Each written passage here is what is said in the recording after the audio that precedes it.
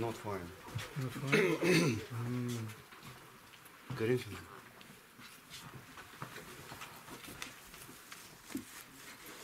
Восемь, восемь, девять, два.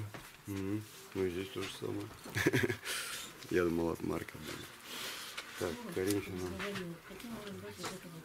У меня вчера было это память собрать. День ангела. Так.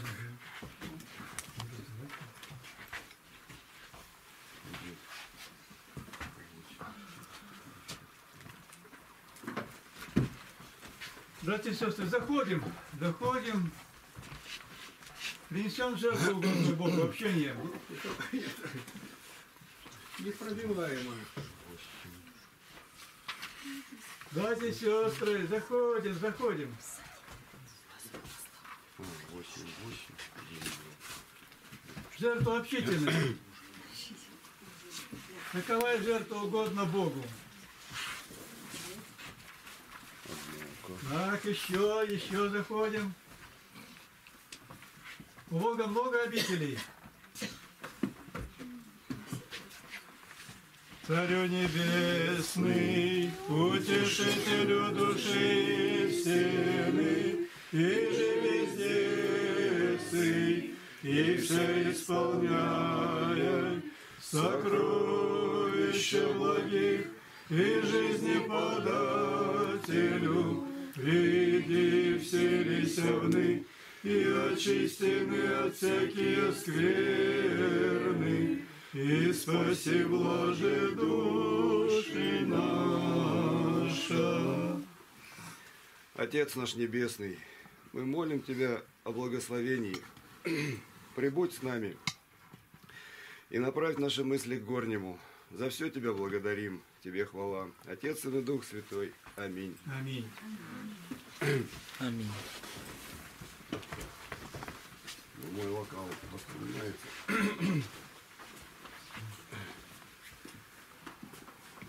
Сегодняшнее чтение. Первое послание апостола Павла к Коринфянам. Глава 8 и 9. Во имя Отца и Сына и Святого Духа. Аминь. Аминь. Глава 8, стих 8. 8 и 9. Э, С 8 по 13.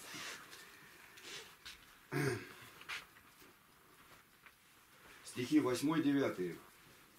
Берегитесь, однако же, чтобы эта свобода ваша не послужила соблазном для немощных, Толкование блаженного Феофилакта Болгарского. Этим устрашает их, и не сказал это знание ваше, но это свобода, то есть самодовольство и гордость, да не послужат соблазном для слабых. Более виновными делает их то, что они не щадят слабых, которым должно было бы помогать. Десятый стих. Ибо если кто-нибудь увидит, что ты, имея знание, сидишь за столом в капище, то совесть его, как немощного, не расположит ли и его есть идоложертвенное? Толкование. То есть, если кто-нибудь слабый увидит тебя, как ты называешь себя, совершенного, едящим идоложертвенное, то не найдет ли он большего повода к тому, чтобы и самому есть идоложертвенное? И не более ли утвердиться, это значит расположить, в мнении, что идол есть нечто, ибо не зная твоей мысли, с какой ты это делаешь, он без сомнения почтет твой поступок увещанием. Стих 11. И от знания твоего погибнет немощный брат, за которого умер Христос. Толкование. Таким образом, совершенство твое будет причиной погибели другого, и притом слабого, и такого, за которого умер Христос. Если же Христос не отказался и умереть за него, как же тебе не воздержаться от яств, чтобы он не соблазнился твоею пищей, говорит Златоуст. Стих 12. а согрешая таким образом против братьев и уязвляя немощную совесть их, вы согрешаете против Христа. Толкование. Не сказал соблазняя, но уязвляя, дабы показать жестокость их, когда они уязвляют и слабую совесть. На самый же верх преступления возвел этот грех, когда сказал «согрешаете против Христа». В каком же смысле этот грех совершается против Христа? Не в одном, а именно. Христос усвояет делаемое рабам Его себе, уязвляемая суть Его тела и члены. Они разрушают то, что Он совершил через собственное заклание, то есть спасение. Стих 13. И потому, если пища соблазняет брата моего, не буду есть мясо вовек, чтобы не соблазнить брата моего. Толкование. Как отличный учитель собственным примером доказывает то, о чем говорит. И не сказал, если соблазняет справедливо. Но как бы то ни было, не сказал также, не буду есть идоложертвенного, но вообще мясо, хотя бы оно было дозволено. Не сказал опять в один или два дня, но во всю жизнь свою, ибо это значит вовек. Не сказал, наконец, чтобы не погубить, но только чтобы не соблазнить. Глава 9. Стих 1. Не апостол ли я, не свободен ли я, не видел ли я Иисуса Христа, Господа нашего? Не мое ли дело вы в Господе? Толкование. Сказав, если пища соблазняет брата моего, не буду есть мясо, дабы кто не почел его тщеславным и самохвальным, вынужден наконец объявить, что воздерживался и от дозволенного, дабы не соблазнить кого-нибудь. Тогда как Христос заповедал проповеднику Евангелия питаться от Евангелия, от Луки 10.7, то есть за счет получаемых. Я, говорит, лучше решился истоевать от голода и ничего не брать от вас, но работать своими руками и питаться своими трудами. Ибо, как кажется, были у них некоторые учители богатые, пользовавшиеся частью за то, что учили безвозмездно, и тем старались пристыдить Павла. Уразумев это, он, как я сказал, не хотел кормиться за счет своих учеников, хотя и имел на это право. Так, говорит, я веду себя, а вы не воздерживаетесь и от, и от идоложертвенного. Такова вообще мысль этого места, которую он раскрывает в нескольких стихах. Впрочем, рассмотрим и порознь каждое изречение. Не апостол ли я, чтобы кто-нибудь не сказал, тебе нельзя брать, потому, поэтому ты и берешь, говорит, как? Разве прочие апостолы не берут? Да, скажешь. Что же, разве я не апостол, то есть такой же, как они? Не свободен ли я? То есть никто не возбраняет мне брать, чтобы не сказали опять, прочие апостолы важнее тебя, потому что видели Господа. Говорит, не видел ли я Иисуса Христа, Господа нашего? Ибо после всех явился и мне, как некоему извергу. 1 Коринфянам 15.8. А быть самовицами Христа было действительно великим преимуществом, ибо сам Он говорил, «Блаженны ваши очи, потому что вы видите то, чего не видели пророки и цари». От Луки 10, 23, 24. Если ты свободен, если ты и апостол, но не совершил никакого дела апостольского, что из этого? Ибо Иуда был апостол и видел Господа. Поэтому говорит, вы мое дело, значит я исполнил служение апостола.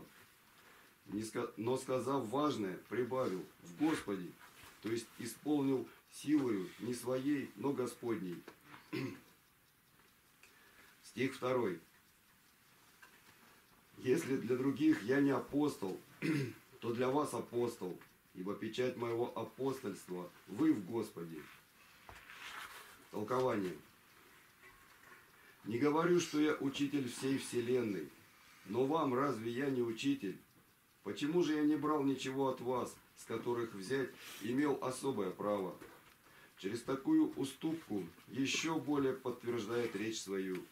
Ибо печать моего апостольства вы в Господе, то есть доказательство. Если кто пожелает убедиться, точно ли я апостол, я укажу на вас. Вы составляете печать и подтверждение моего апостольства. Ибо я совершил между вами все, что должен сделать апостол. Богу нашему слава. Во веки. Аминь. Выздоравливай. Дай Бог.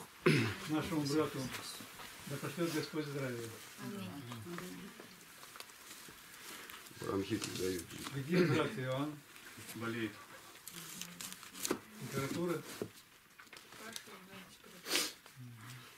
Я вот видел сегодня, как дядя Игорь трепал, скажем так. Воспитывал, да, воспитывал. Да я его вообще не трепал, только вот досталось. Я хочу сказать вам, дорогие мои брат и сестра, и отсутствующие брат и сестра, как вы в любом случае будете э, помнить эти слова, эти напутствия, эту беседу с дядем Игорем, с дядей Игорем.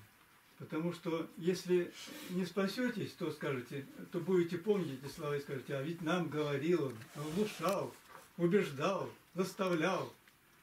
А если спасетесь, то как хорошо, что он у нас был. По-любому. У вас других вариантов не будет, третьего варианта нет. Дай Бог, чтобы был второй вариант. Еще и Нафа тоже. Она хоть и рядом, но далека. Так что не забывайте, все четверо Да? на подсосе, как говорится. Духовном. Ну и не только они, там сразу скажем. Пускай Я другие тоже за Хочу обратиться к вам, дорогие мои братья и сестры, чтобы помолились и о моем сыне тоже, чтобы Господь ему даровал, скажем так, укрепил его в вере. Он на- назвать его неверующим и отступившим нельзя, потому что он молится, эм, ну, и постится. А в храм-то ходит куда-то? В храм не ходит, А, не ходит в храм. Вот. э, К тому же он женился. Жена у него, э, Алена, дай Бог, чтобы она стала Еленой, чтобы Господь подвигнул ее к крещ- крещению, к крещению. Они зарегистрированы, живут не, как теперь принято, не в гражданском браке, а за- зарегистрированном браке. Вот. Осветили квартиру, батюшка в прошлое воскресенье осветил у них квартиру. Закончили они ремонт, все там у них теперь, дай Бог. Вот. Э, Я давно с ней веду работу потихоньку, но подвижки есть.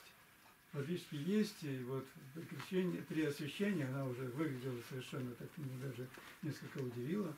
Она и молилась с нами вместе, и де- одеяние у нее было достойное. Ну, одним словом, молитесь, чтобы Господь ее обратил на путь истины. Прошу вас, молитесь святых. Благодарю за ваши молитвы о моей жене. Она была прооперирована в Новосибирске, как вы знаете. Ну, несколько лучше, конечно, по сравнению с тем, что было до операции. Но трудно ей, трудно ей хлопотать у плиты с утра до вечера с детьми, с, тро- с тремя, с троими, то есть э, от 3 до 95 лет разброс такой. 3, 6 и 95. Кто больше требует внимания, трудно даже сказать. Ну и ситуация такая, что у нас 7 человек трехкомнатной квартире, э, конфликты прошли уже. неизбежны, сами понимаете. У меня сестра побывала в гостях, говорит, о, как же это вы так тут. Тут, товарищи, товарищи, эх, товарищи, как в том анекдоте. Одним словом, молитесь, чтобы Господь э, побыстрее устроил нам э, освободить, э, ну, то, то есть завершить ремонт в, этой квартире, которую получили теперь уже ключи от квартиры дочь с зятем, чтобы у них там они от- отделились от нас, чтобы им свободнее стало и нам. Полегче. Отпочковались, да. Да. Вот. Но сейчас, сами понимаете, ремонт это в копеечку всегда, и, и времени нету, а в основном за- задействован Никита. Никита, он перфекционист, поэтому Настя все недовольна. Ну вот им уже хватит бы. Нет, он будет делать так лазером, что там эти линеечки, все там у него должно быть как сделано, как себе. Ну, делает всегда, работает так, как, как для Господа, вот, как принято. Вот, еще у нас было событие такое, э, по- все в молитвенной поддержке, у брата Константина была неприятность, у него в бригаде там низвергся с высоты э, Коллега. его работник, коллега, он его, его подчинение был, наверное, нет? Но, одним словом, я так предположил, что спрос был бы из э, Константина тоже, с нашего брата, потому что работу совершали ту, которую они вместе там делают. Так что благодарим Бога за то, что раз- раз- разрешилась вся эта ситуация более или менее благополучно. Привязываются пускай, когда лазят. Или с карабином. Понятно, но все равно Что, учить туда ехать? соблюдение техники безопасности это прежде Еще всего. никто да, не отменял. Так, Я же не упал. помолитесь о рабе Божием Игнатии, который вот был в поликлинике, у него тут мы обследовали ухудшение слуха значительное, предлагают э, получить э, группу инвалидности, то есть нужно пойти на комиссию медицинскую, чтобы дали эту группу. Вот это первое. И второе, там еще нужно лечение по поводу суставов и сосудов нижних конечностей.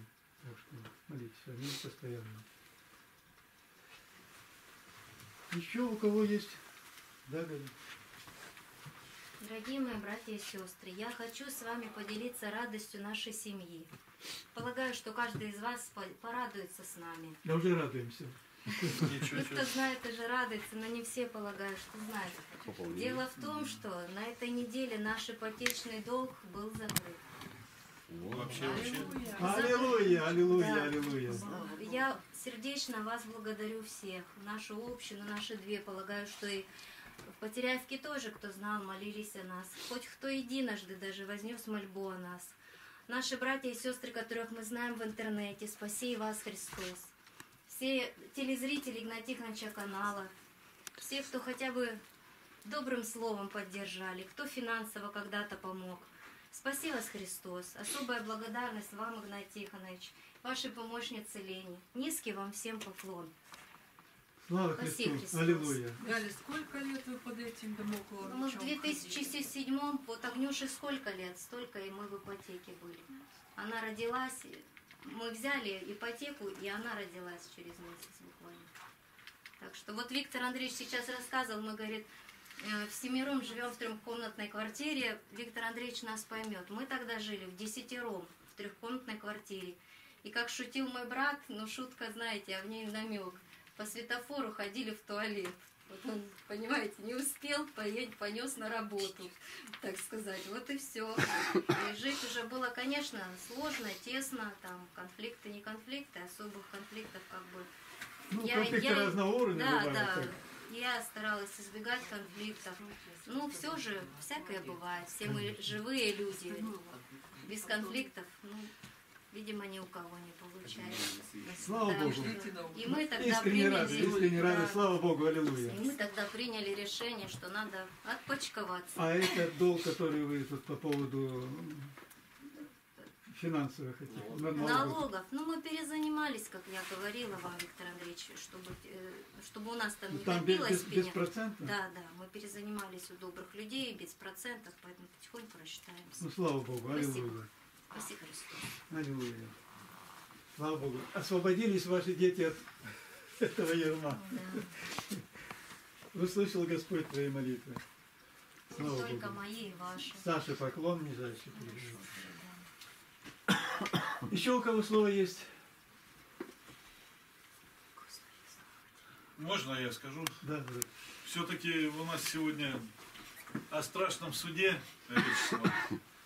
Но вы знаете, эти 10 дев, ну как бы уже это все избитые такие у нас. А кто-то, может, и не знает. 10 дев это все верующие люди были.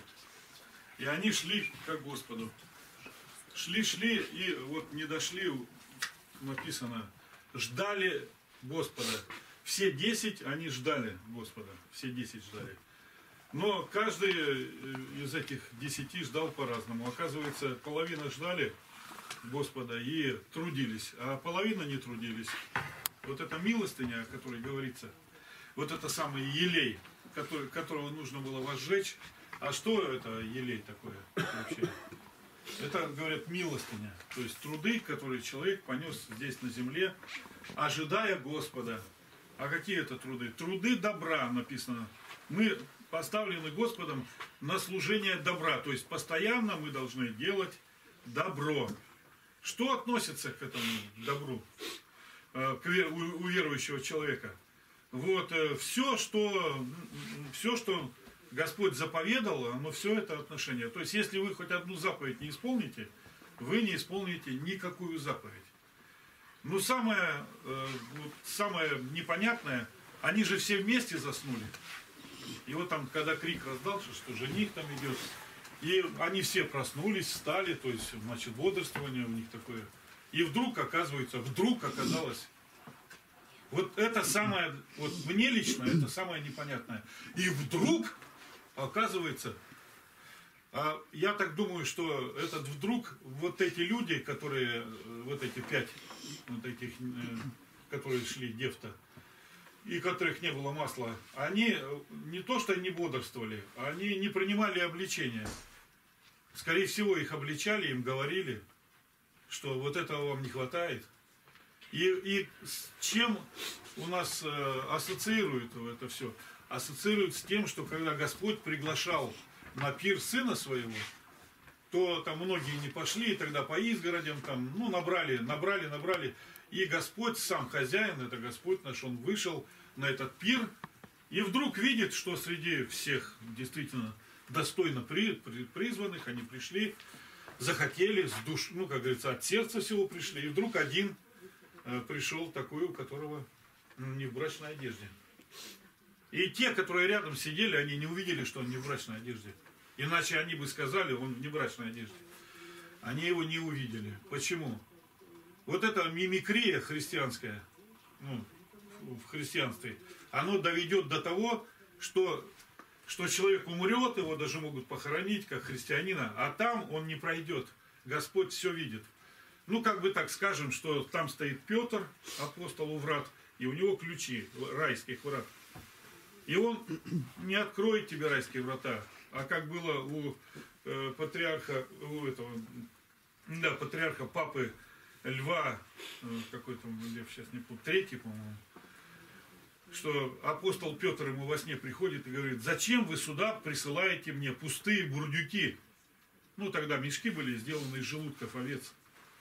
Говорит, зачем вы сюда их присылаете? Бурдюки пустые, нету человека внутри. Души, то есть, нету, не человека. Человек закопан, а душа должна прийти к краю. Верующая. Души и у неверующих тоже есть, но они не могут прийти к краю. Потому что они в другом месте будут. Знаете, как, как об- обгоревшая головня, когда они перейдут через реку. Они тоже перейдут, но только не будут сиять, как золото, а будут черны все. И поэтому нужно очень сильно следить за собой э, во всех отношениях. Ты думаешь, что ты богат, а оказывается, что ты нищ и убог, как говорит об этом нам Иоанн Богослов. Все. Слава Христу, аллилуйя, да, говорят? Еще одна минутка. Дорогие братья и сестры, вот я кое-что для себя уяснила. Мы вот иногда обесцениваем то, что нас окружает. Кого кто-то вот не нравится, кому-то раздражает, что записывают там. А вот я в прошлой неделе, я не смогла прийти по состоянию здоровья. Но я была с вами. Потому что там, потому что Лена вот записывает на вот в реальном времени, она там скайп, вот эта трансляция называется или как. И я с вами молилась, с вами на собрание была. И это вот так было дорого в тот, в тот момент, что я могу быть с вами, понимаете? Не просто видео посмотреть спустя 3-4 дня Игнат Тихонович иногда не сразу выкладывает, или кто выкладывает из наших помощников. Вот. А здесь прям, вот я была с вами, там, в болезни, как говорится, в здравии, в Онлайн. болезни. Да, была с вами онлайн. Так что, я полагаю, мы должны это ценить. Должны. Давайте на первой неделе Великого Поста, когда будет чтение э, канона Андрея Критского, Вот обязательно, чтобы была трансляция. И дома, если кто будет или где на работе, выходите, будете с нами. Будет и проповедь, будут, будет, Да, будет кто не песнопение. может прийти. Но однако, Пасхальная. однако, чтобы это не было поводом не прийти. Ну да, однако что-то было Еще Кстати, кто- будут, наверное, там какие-то выходные, да? Даже, по-моему, до четверга будут какие-то выходные? С четверга. С четверга, ну то есть четверг, да? Четверг, То есть четверг, по милости просим всех на канон Андрея Критского. Кто не был, хотя бы побудете, узнаете, что это такое. Марина, а уточни, с четверга какого числа? А, какого числа? А, 23-го, нет, это у нас это же, будет у нас же Это до- это до. Прощен, а там ничего не будет. 26-го. Ничего не будет, да. Ну, очень жаль. Ну, подменитесь, кто не был. Придите. Это Бывает 23 по иногда. 26. Иногда бывает попадает. Это мартовский, наверное, 8 марта попадает. Петр Алексеевич, ну мы уже выдохлись, ваше слово. Сегодня. Вот прочитали в самом начале апостол Павел, как говорит. Там поднимались. Ты Христа не видел, ну и начинает. А следующее, он говорит, печать моего апостольства вы во Христе. Вот и все. Разные там, которые Дворкины, другие там Дулевичи, они ничего не могут показать, кроме того, что они расписываются, получая где-то деньги. Я нигде не получаю. А сегодня тут утром начал он Игорь Владимирович смотреть, как ты пришла? Через это, как пришла? Как пришла? Все оказалось через университет, где-то слышали. Я призываю не только благовествовать, но и чтобы мы имели возможность заходить в скайп, когда у нас идут занятия каждый день. Более, вот, ну, по моему мнению, так, я уже спрашивал, где-нибудь найдите, что православные и Слово Божие, Святую Библию стали не во главу угла, а во всем, на все углы святых отцов, каноны церкви, и как беседуют. И вы утром посмотрите, когда ночью выходят. Вот из этих книг каждый день берут проповеди и выставляют в интернет. Ответы, вопросы. Отдельное занятие, одни мои вопросы, это ну, вопрос тут 3467. И люди, все новые и новые люди приходят. А вы сидите где-то рядышком и ничего не знаете. Я опять к своей теме. Заведите этот аппарат. Не знаю, что там, ноутбук называют или так. Чтобы включил, вот каждые два часа у нас идет дозвон на молитву. Положи молоток, там что, 10 минут всего. А как это воодушевляет? Вот у меня вопрос. Печать моего апостольства вы.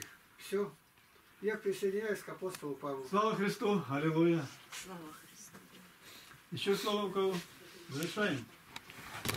Достойно есть всякого истину, блажите тебя, Богородицу, пресноблаженную и пренепорочную, и Матерь Бога нашего, честнейшую Херувим, и славнейшую без сравнения Серафим, без истления Бога Слова родшую, сущую Богородицу Тебя величаем. Господи, защити Родину нашу от нашествия наплеменников, от внутренних расприй, от беззакония, которое в тайне, останови делающих зло. Просвети правителей страны нашей, чтобы принимали мудрые законы, и всех начальствующих также просвети и защити. Людей, не познавших Тебя, обрати к истине, чтобы божественная любовь Твоя коснулась каждого сердца. Священники, которые не служат Тебе как должно, пусть покаются в небрежении своем и проповедуют смело и инославным об Иисусе Христе. Господи, праведны суды Твои над Россией за то, что оставили Тебя и Слово Твое, изреченное Святой Библии. Прости нас, Господи, Владыка жизни, что сокрыли имя Твое, Бога Иегова. Дух Святой да наставит нас не признавать никаких иных богов вопия, а волочи. Господи, научи нас семикратно в день прославлять Тебя за суды правды Твоей.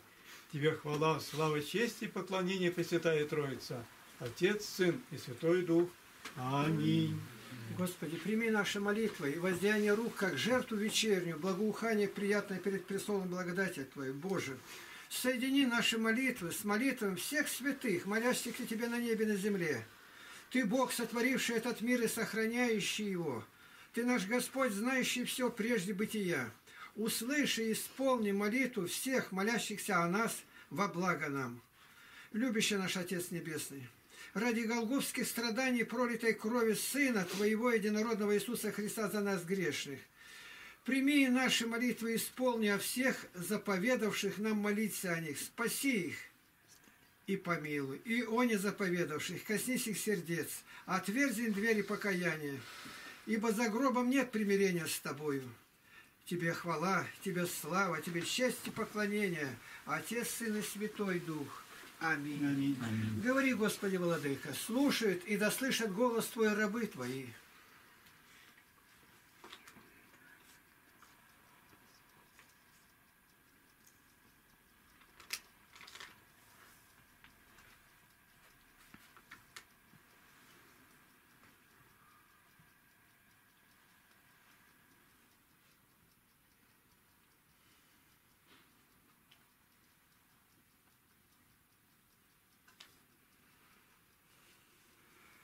Аминь. Аминь.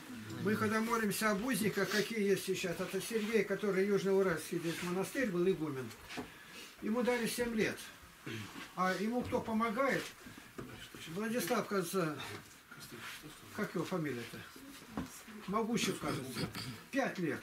Там вообще не знаю, как и что. Ну и Илья из Белоруссии, что по сей день суда еще нету, но вот-вот будет в марте. Так что три человека хотя бы знали, о чем молиться. Ну и которые у нас вызваны на фронт Потеряевские. Это Никита Устинов, Устинов же Андрей, Глушков Максим. Ну и двое на примете там. Власти уже вызывали их и вернули.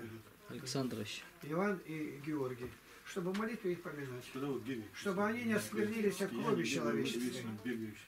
Чтобы они вернулись живые, здоровые, как Богу. Богу слава. Во веки аминь. Куда ты бежишь, Когда?